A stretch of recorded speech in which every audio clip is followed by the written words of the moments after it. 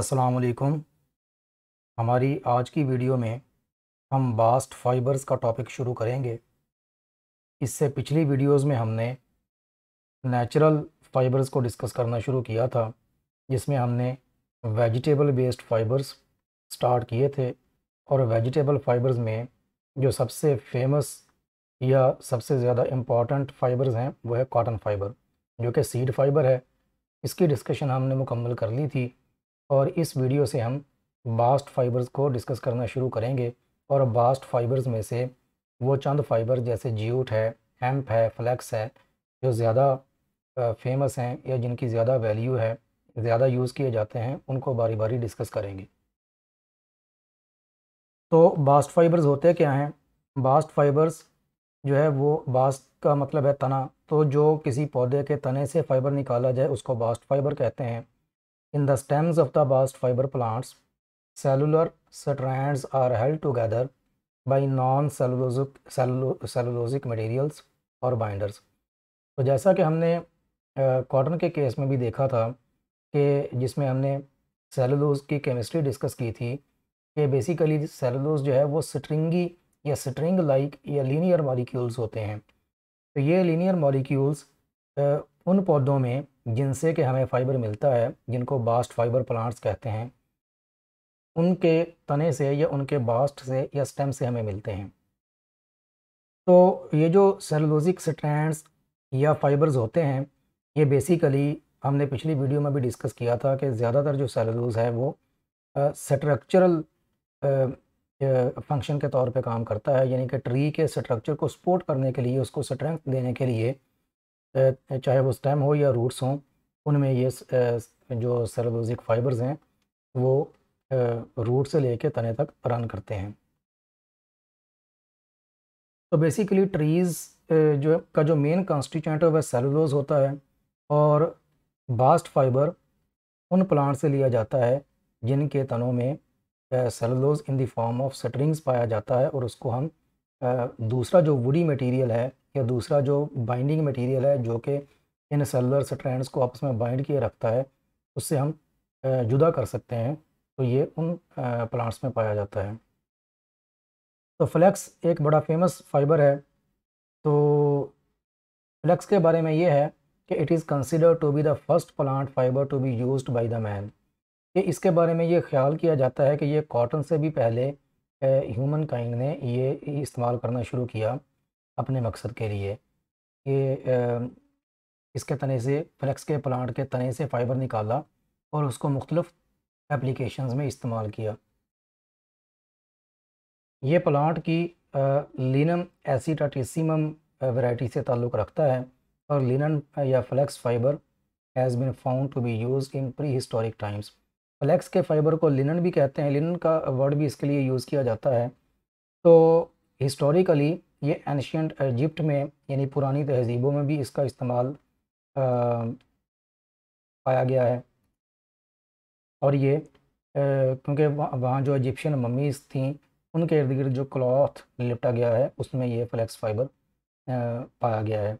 With increasing use of cotton it went in background लेकिन जैसे जैसे क्लोदिंग में कॉटन फाइबर का इस्तेमाल ज़्यादा हुआ फ्लैक्स जो फाइबर है, वो बैकग्राउंड में चला गया। तो कुछ जो कंट्रीज़ हैं, चूँकि इससे ऑयल भी निकलता है जो लिंसीड ऑयल ऑयल है वो फ्लेक्स प्लांट से लिया जाता है इसके सीड से। तो बहुत सारे जो कंट्रीज़ हैं, जैसे यूएसए कनाडा अर्जेंटीना वगैरह, ये इस प्लांट को सीड ऑयल के लिए भी ग्रो करते हैं और इसका ऑयल इस्तेमाल किया जाता है। तो फ्लेक्स का जो फाइबर है ये प्लांट से कहाँ कैसे लिया जाता है? तो अगर हम प्लांट का प्लांट के तने का स्टेम का क्रॉस सेक्शन देखें तो इसके क्रॉस सेक्शन ये हमें यहाँ पे नज़र आ रहा है। सबसे पहले क्यूटिकल लेयर है, उसके बाद एपिडर्मिस है और सबसे अंदर हॉलो स्पेस है, यानी फाइबर अंदर से हॉलो है। वुडी बॉडी या शाइब इसके बाद ये हॉलो स्पेस के बाद ये वुडी मटेरियल है और वुडी मटेरियल के बाद ये जो आउटर रिंग नज़र आ रहा है, इस आउटर रिंग में ये जो बंडल्स हैं मुख्तलफ, ये एक्चुअली फ़ाइबर के बंडल्स हैं। तो इन बंडल्स से फ़ाइबर को सेपरेट किया जाता है जुदा किया जाता है। तो बास्ट फाइबर में या उन पौधों में जिनसे हम बास्ट फाइबर लेते हैं, उनमें ज़्यादातर ये इस तरह के आउटर रिंग में फाइबर इस तरह बंडल्स की शक्ल में पाए जाते हैं। तो flax fibre bundles are arranged around the woody core each bundle में कंटेन 10 टू 14 फाइबर्स और about one over fourth of the stem consist of fibres के जो तना है या स्टेम है, उसकी, उस, उसके, उसका तकरीबन वन ओवर फोर्थ जो पोर्शन होता है, वो उस फाइबर होता है और बाकी का जो पोर्शन है थ्री फोर वो दूसरे मटेरियल्स होते हैं।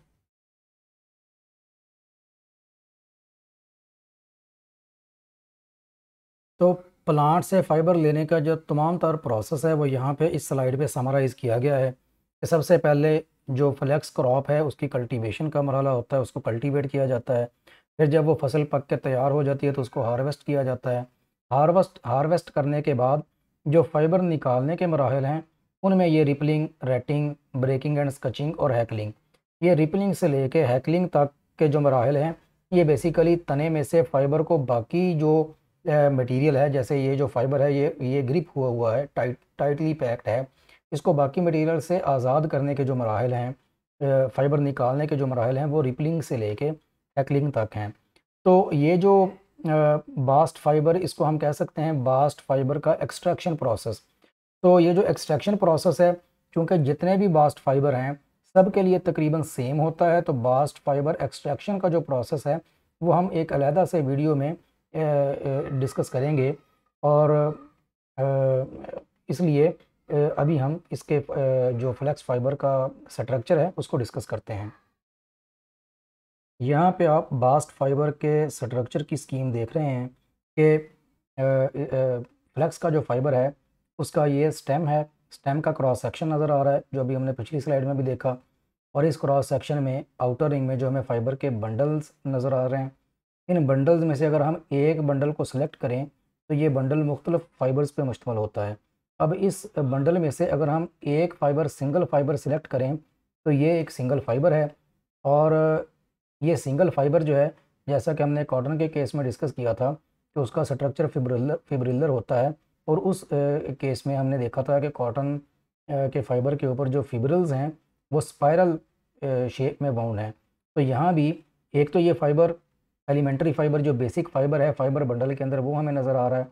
और उस बेसिक फाइबर के अंदर अगर आगे मज़ीद उसका जो क्रॉस सेक्शन है, उसमें छोटे छोटे फाइबर हैं, जो बारीक फिलामेंट टाइप आप कह लें कि वो उसको, उनके ऊपर मुश्तमल होता है। तो वो जो मल्टीपल छोटे छोटे फाइबर्स या फिब्रल्स में से एक फाइबर या फिब्रल ये नज़र आ रहा है। तो इसमें जो इसमें जो बेसिकली सेलुलोजिक चेन्स होती हैं सेलुलोज के जो मैक्रोमालिक्यूल होते हैं पॉलीमर होता है, उसमें जो सेलुलोजिक लेयर्स होती हैं, वो भी स्पायरल फॉर्म में होती हैं। और जैसा कि हमने कॉटन फाइबर के केस में देखा था कि वो जो स्पायरल स्पायरलिटी है, ये स्पायरल जो कन्फॉर्मेशन है, या हेलिकल कन्फॉर्मेशन है, उसका फाइबर एक्सेस के साथ जो एंगल है, वो कॉटन के केस में थर्टी प्लस था और फ्लेक्स के केस में बहुत कम होता है। तो यही वजह है कि इसकी जो इलास्टिसिटी है वो कॉटन फाइबर से काफ़ी कम होती है। तो बेसिकली क्या है कि स्टेम के अंदर बंडल्स ऑफ़ फाइबर्स होते हैं और किसी एक बंडल में से हम फाइबर को सेपरेट करें तो जो एक फ़ाइबर है वो मज़ीद आगे छोटे छोटे फिब्रल्स या फाइबर पे मुश्तमल होता है। इनको इन छोटे छोटे फाइबर को जो कि एलिमेंट्री फाइबर के अंदर होते हैं या मेन फाइबर के अंदर होते हैं, उनको माइक्रो फिब्रल कहते हैं। तो और उस फिब्रल में जो सेलुलोजिक पॉलीमर है, या लेयर्स हैं, वो in the form of spiral होते हैं और एंगल ऑफ़ स्पायरलिटी बहुत कम होता है। तो ये फ्लेक्स के फ्लेक्स फाइबर का स्ट्रक्चर है। उसके बाद physical properties of flax fibre flax fibre की फ़िज़िकल प्रॉपर्टीज़ में अगर हम इसकी स्ट्रेंथ की बात करें तो ये कॉटन फाइबर से two two three times stronger है। इसके टेनेसिटी टू से सेवन ग्राम पर डेनियर की रेंज में होती है। और अगर मॉइस्चर की बात करें तो मॉइस्चर रीगेन इसकी ट्वेल्व परसेंट है, यानी कॉटन से ज़्यादा है। कॉटन की साढ़े आठ परसेंट होती है, यानी अपने वेट का बारह परसेंट मॉइस्चर अब्जॉर्ब कर सकता है। तो अपनी इस हाई अब्जॉर्बेंसी की वजह से ये टॉवल्स में यूज़ किया जाता है, क्योंकि टॉवल्स में हमें अब्जॉर्बेंसी चाहिए होती है। और दूसरा ये स्ट्रॉन्गर वैन वेट जिस तरीके से कॉटन जब वेट फॉर्म में हो तो वो फाइबर स्ट्रॉन्गर हो जाता है। उसी तरीके से ये फाइबर भी वेट फॉर्म में ज़्यादा स्ट्रॉन्गर हो जाता है। तो native cellulose is greater than 75 percent के 75 पर मोर देन 75 परसेंट जो है वो सेलोलोज है। जैसा कि यहाँ पे 70 से 75 परसेंट सेलोलोज फिफ्टीन से 20 percent hemicellulose 3 percent pectin और 3 परसेंट लिग्निन तो इसका, इसमें जो सेलोलोज है वो तकरीबन 75 या 75 परसेंट से ज़्यादा होता है। Degree of polymerisation is up to 18,000 degree of polymerisation 18,000 तक हो सकती है यानी कि जो सेलोलोजिक रिपीट यूनिट्स हैं वो अप टू जो मोनोमर मोनोमेरिक यूनिट्स हैं वो अप टू 18,000 हो सकते हैं। हाईली ओरिएंटेड सेलुलर चेन्स दस हाईली क्रिस्टलाइन जो सेलुलर चेन्स हैं उनकी आपस में ओरिएंटेशन काफ़ी ज़्यादा होती है। जिसकी वजह से इसकी क्रिस्टलिनिटी भी काफ़ी ज़्यादा होती है। मेल्ट नहीं होता like cotton but decompose at temperature greater than 200 degree centigrade और फ्लेम के ऊपर रखें फ्लेम की बात करें तो बंद करता है क्योंकि इसका लिमिटिंग ऑक्सीजन इंडेक्स जो है वो 18 परसेंट है। कि जो ये बताता है कि कितनी इजीली कोई फाइबर फाइबर या कोई मटेरियल बर्न कर सकता है, क्योंकि हवा में, फ़िज़ा में जो ऑक्सीजन है वो 18 परसेंट से ज़्यादा होती है तो ये इसका, इसको सिर्फ़ 18 परसेंट चाहिए जलने के लिए। तो ये बड़ा इजीली बर्न करता है विद लिमिटेड ऐश फिर अगर इसकी इलोंगेशन की बात करें तो हमने जैसा कि इसके स्ट्रक्चर के हवाले से बात की थी कि सेलुलोजिक जो चेन्स हैं, वो ज़्यादा ओरिएंटेड होती हैं अलॉन्ग द फाइबर एक्सेस के along the fibre axis cellulosic chain ज़्यादा ओरिएंटेड होती हैं तो इस ज़्यादा ओरिएंटेशन की वजह से जब इस फाइबर को स्ट्रेच किया जाता है तो चूँकि चेन्स तो पहले ही ज़्यादा ओरिएंटेड हैं, उनमें मज़ीद ओरिएंटेशन की गुंजाइश तो होती नहीं है। तो इसलिए इनकी जो इलांगेशन है, या इलास्टिसिटी है, वो कम होती है। तो अगर इसको स्ट्रेच किया जाए तो 1.8 परसेंट इलांगेशन के बाद ये ब्रेक टूटने से पहले इलांगेशन देता है। ड्राई कंडीशन में और अगर वेट हो तो ये जो इलांगेशन एट ब्रेक है, वो 2.2 परसेंट हो जाती है, थोड़ी बढ़ जाती है। तो चूँकि इलांगेशन के साथ ही एक जुड़ी हुई प्रॉपर्टी इलास्टिसिटी है तो इसकी इलास्टिसिटी बहुत कम होती है। इलास्टिसिटी भी कम होने की वजह यह है कि चूँकि हम सेलुलोजिक चेन्स ऑलरेडी बड़ी ओरिएंटेड होती हैं लॉन्ग द फाइबर एक्सेस तो इसी हाई ओरिएंटेशन की वजह से ही ये वाला फ़ाइबर ज़्यादा रिजड भी समझा जाता है। फ़ाइबर बहुत रिजड होता है। यानी कि रिजड वो फाइबर होता है जिस, जो जो रजिस्ट करे बेंडिंग को। तो इसी रिजिडिटी की वजह से ये कॉटन जितना क्लोथिंग के लिए अहम फाइबर नहीं है। जो कॉटन जितनी कंफर्ट नहीं देता। तो sensible to photo degradation gradual loss of strength के जो सनलाइट है, उसका ज़्यादा एक्सपोजर आहिस्ता आहिस्ता इसकी स्ट्रेंथ ख़त्म कर देता है। स्पेसिफिक ग्रेविटी 1.54 है। ग्रे और येलोइश कलर का होता है फाइबर और हाईली एब्जॉर्बेंट है। Feels cool good conductor of heat तो जैसा कि हमने देखा था कॉटन के केस में भी डिस्कस किया कि सेलुलोज बाकी फाइबर्स की नस्बत हीट को ज़्यादा कंडक्ट करता है। तो इसी वजह से ये कूलर भी है और अपनी हाई एब्जॉर्बेंसी की वजह से भी इसकी कंफर्ट ज़्यादा होती है। हाई एब्जॉर्बेंसी और हाई हीट कंडक्टेंस इसकी कंफर्ट प्रॉपर्टीज़ को बढ़ाती हैं। पुअर रिंकल रेजिस्टेंस है कॉटन की तरह does not build up static electricity के जो स्टैटिक इलेक्ट्रिसिटी है वो इतनी ज़्यादा ये बिल्ड नहीं होने देता, उसकी बल्कि नहीं बिल्ड होने देता। उसकी रीज़न ये है कि इसका ये जो मॉइस्चर रीगेन है, वे ये कॉटन से भी ज़्यादा है और मॉइस्चर जिस फाइबर में ज़्यादा हो जिस सरफेस पे ज़्यादा हो उसके ऊपर स्टैटिक इलेक्ट्रिसिटी बिल्डअप नहीं होती। तो ये तो थी इसकी फ़िज़िकल प्रॉपर्टीज़ और अगर इसकी केमिकल प्रॉपर्टीज़ की बात बात करें तो acids can destroy this fibre destroyed by cold concentrated acid and hot dilute acids but resist cold dilute acids अगर कोल्ड एसिड हो हॉट ना हो तो डाइल्यूट एसिड्स को ये रेजिस्ट करता है।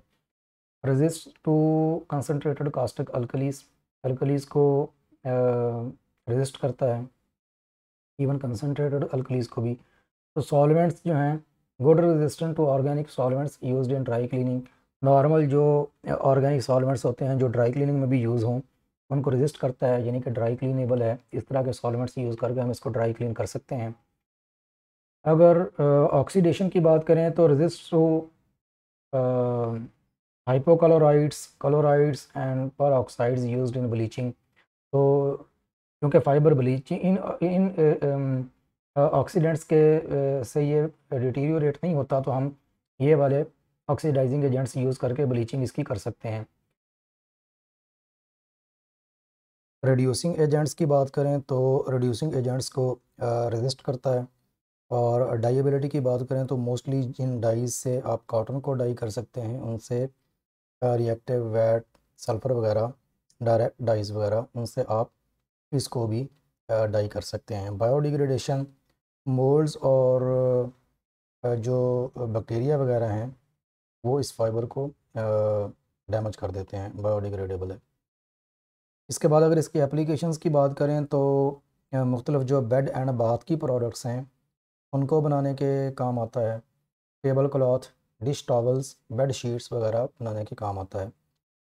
फिर home and commercial furnishing items such as wall paper wall coverings upholstery window treatments तो अपैरल की बात करें तो अपैरल में भी सूट्स में ड्रेसेस में स्कर्ट्स में यूज़ होता है। फिर इंडस्ट्रियल प्रोडक्ट्स की अगर बात करें तो लगज कैनवसेस सीम थ्रेड वगैरह बनाने के काम आता है। फिर जो पेंटिंग्स वगैरह का शौक़ रखते हैं, वो इस फैब्रिक को ऑयल पेंटिंग के लिए भी इस्तेमाल करते हैं। तो ये तो था फ्लेक्स फ़ाइबर उसका, उसकी फ़िज़िकल एंड केमिकल प्रॉपर्टीज़ उसके स्ट्रक्चर की डिस्कशन और उसकी एंड यूज़र्स या एप्लीकेशंस तो इसके बाद हम नेक्स्ट वीडियो में नेक्स्ट फाइबर्स और बास्ट फाइबर की एक्सट्रैक्शन का जो प्रोसेस है वो डिस्कस करेंगे।